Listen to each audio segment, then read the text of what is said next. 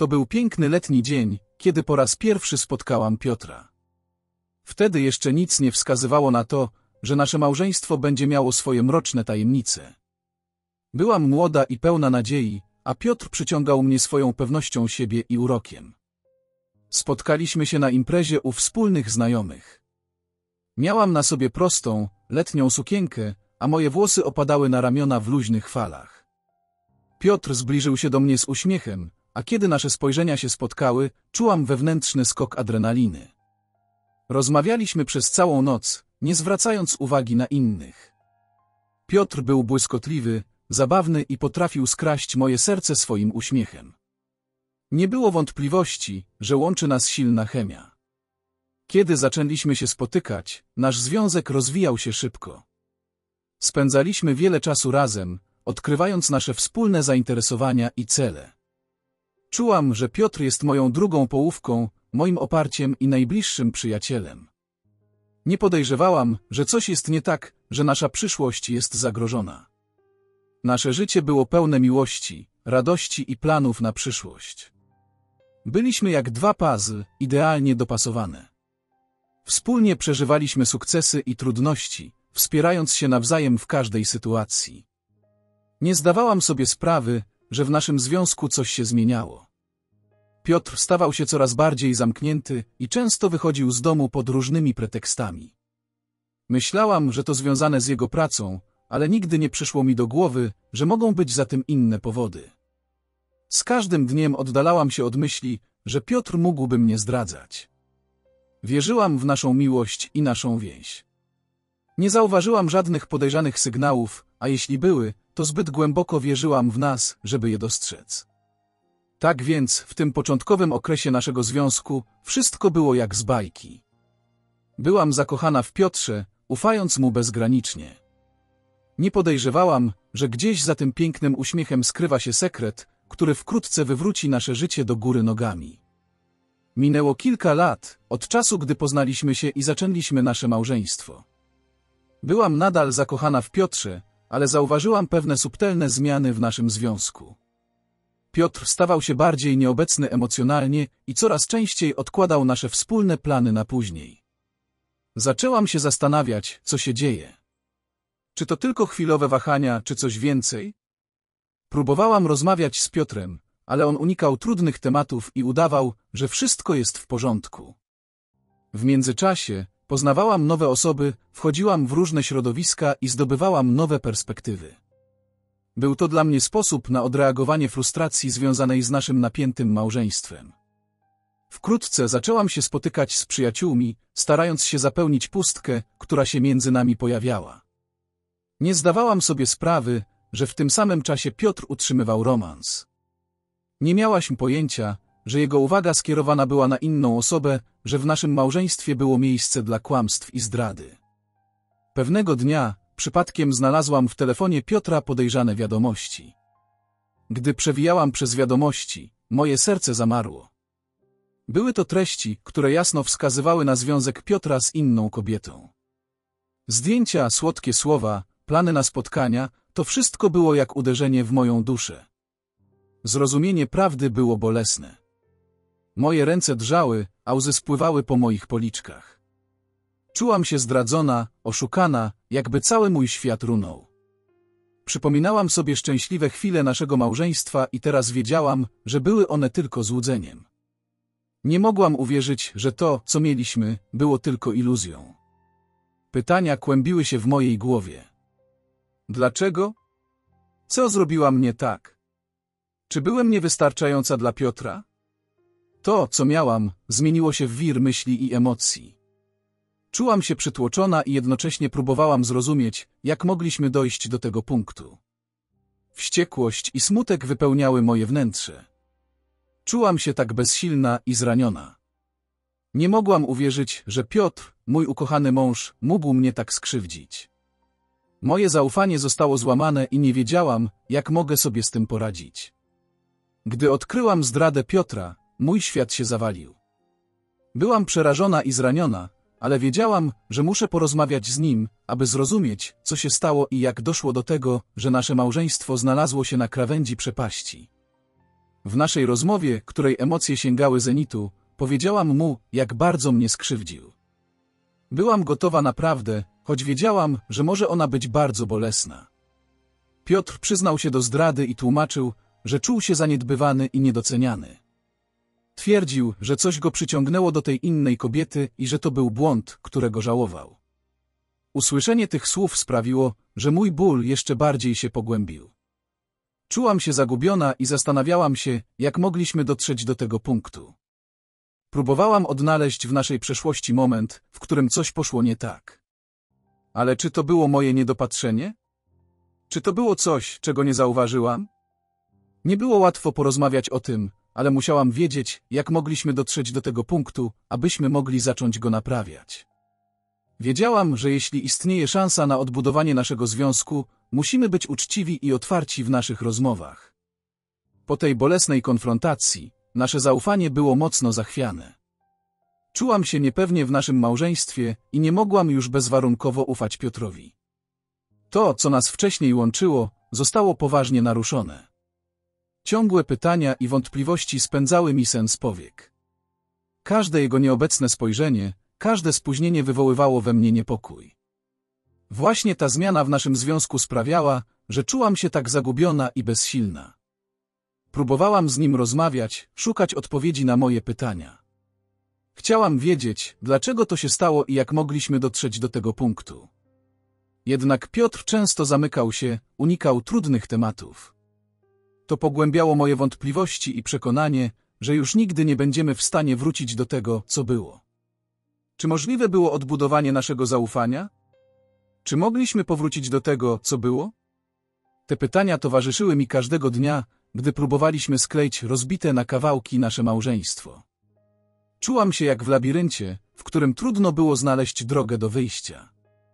Wiedziałam, że jeśli chcemy naprawić nasze małżeństwo, musimy otworzyć się na trudne rozmowy i uczciwie skonfrontować się z naszymi obawami i bólem.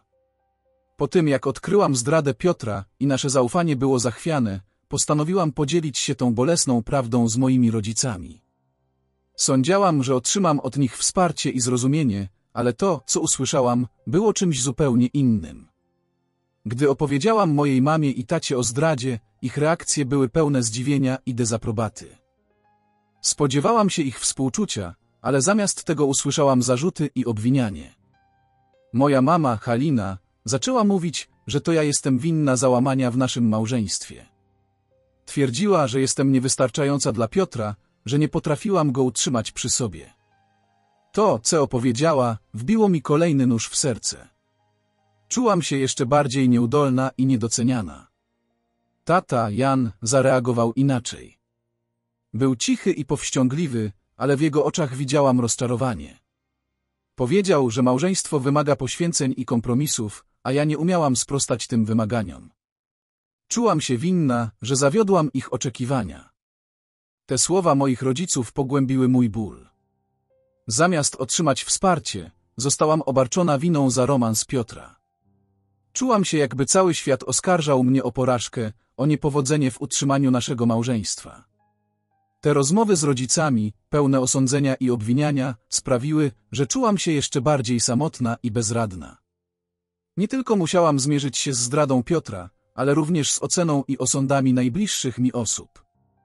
W tej chwili moje zaufanie do bliskich mi ludzi zostało poważnie zachwiane. Czułam się niezrozumiana i odrzucona przez tych, od których oczekiwałam wsparcia. To było jakby ostrze, które wbijało się coraz głębiej w moje serce. Jako narratorka tej historii, przeżywałam te chwile pełne bólu i niezrozumienia. To były trudne momenty, w których musiałam stawić czoła nie tylko zdradzie Piotra, ale również osądom najbliższych osób. Musiałam znaleźć w sobie siłę, aby nie poddać się tym obwinającym głosom i szukać swojej własnej drogi do odbudowy i przebaczenia. Przeżywałam te chwile pełne bólu, zdrady i zagubienia. To były momenty, w których czułam się kompletnie bezsilna. Ale wiedziałam, że jeśli naprawdę pragnę odbudować nasze małżeństwo, muszę podjąć trudną decyzję i walczyć o nasze szczęście. Po konfrontacji z rodzicami i ich obwinianiu mnie za zdradę Piotra, czułam się zraniona i zrozczarowana. To były osoby, od których oczekiwałam wsparcia, a otrzymałam tylko osądzenie. Zrozumiałam, że aby zacząć nowe życie, muszę odciąć się od toksycznego wpływu, który wywierali na mnie. Podjęłam trudną decyzję o odcięciu się od moich rodziców. Zrozumiałam, że aby zacząć nową przyszłość, muszę uwolnić się od ich obwiniających słów i negatywnego wpływu na moje samopoczucie. Była to bolesna decyzja, ale czułam, że to jedyna droga do odzyskania siebie. Zdecydowałam się również zakończyć małżeństwo z Piotrem.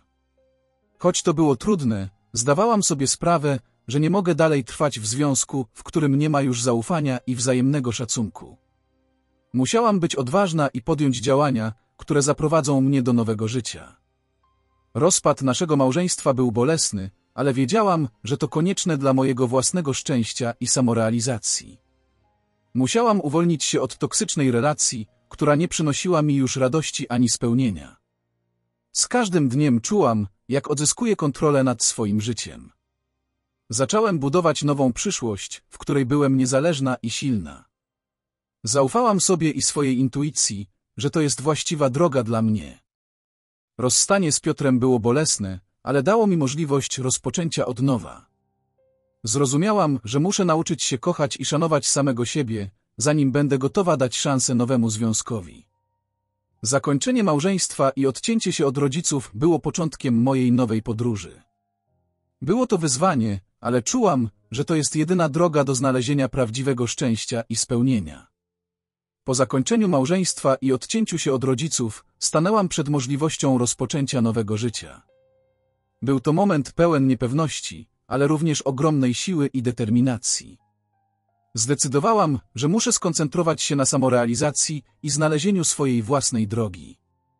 Przez wiele lat poświęciłam się małżeństwu i próbowałam spełniać oczekiwania innych.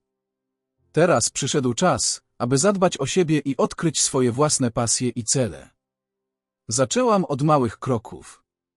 Skupiłam się na odkrywaniu swoich zainteresowań i rozwijaniu swoich umiejętności. Zapisywałam się na różne kursy i warsztaty, które pomogły mi poszerzyć horyzonty i odnaleźć pasję.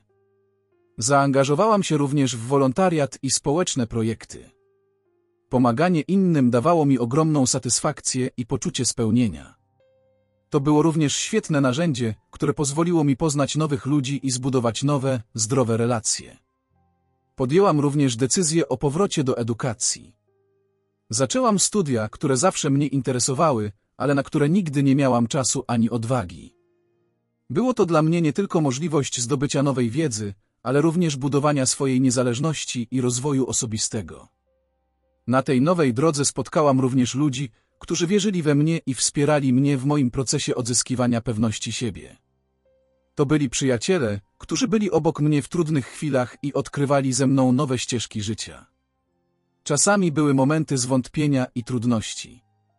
Przeszłość wciąż odbijała się echem w mojej pamięci, ale nie pozwoliłam, aby to mnie zatrzymało. Byłam zdeterminowana, żeby stworzyć sobie nową, pełniejszą i bardziej autentyczną przyszłość. Podczas podróży w poszukiwaniu nowego życia odkryłam wiele o sobie. Zrozumiałam, że nie powinnam się obwiniać za zdradę Piotra, że nie byłem niewystarczająca. To nie była moja wina. Zrozumiałam również, że jestem silna i zdolna do przezwyciężania trudności. Odnalazłam w sobie nową siłę i pewność siebie. Pracowałam nad budowaniem pozytywnego obrazu samej siebie i akceptacją swoich wad i niedoskonałości. Zrozumiałam, że jestem wystarczająca taką, jaka jestem i nie muszę udowadniać niczego innym. Z czasem zaczęłam budować nowe relacje oparte na wzajemnym szacunku i zaufaniu. Spotkałam kogoś, kto mnie docenił i kochał taką, jaka jestem. Nasz związek był oparty na wzajemnym wsparciu, szacunku i uczciwości. To był związek, który naprawdę mnie uzupełniał i dawał mi poczucie bezpieczeństwa. Nie zapomniałam o przeszłości, ale nauczyłam się jej przekształcić w siłę i mądrość. Przez to doświadczenie stałam się bardziej empatyczna i otwarta na innych. Wiedziałam, jak ważne jest budowanie zdrowych i pełnych miłości związków. Podczas podróży w poszukiwaniu nowego życia spotkałam osobę, która stała się moim partnerem. Byłam ostrożna, ale otworzyłam swoje serce na tę nową miłość. Nasz związek był pełen szacunku, zaufania i wzajemnego wsparcia. Wspólnie odkrywaliśmy nowe możliwości i cele. Dzieliliśmy pasję do podróżowania, kultury i twórczości. Był to związek, w którym mogłam być sobą, niezależnie od tego, jaką przeszłość miałam za sobą. Nasza miłość rosła i rozwijała się. Byliśmy dla siebie oparciem i inspiracją. Razem odkrywaliśmy świat i budowaliśmy nowe marzenia. Wiedziałam, że ta miłość jest prawdziwa i daje mi siłę do pokonywania przeciwności. Czułam się spełniona i szczęśliwa. Wiedziałam, że miałam odwagę zakończyć toksyczne małżeństwo i odciąć się od obwiniających rodziców. To dało mi możliwość rozpoczęcia nowego życia, pełnego pasji, autentyczności i prawdziwej miłości. W każdym rozdziale mojej historii odkrywałam nowe fragmenty samej siebie i zrozumiałam, że jestem wystarczająca i wartościowa.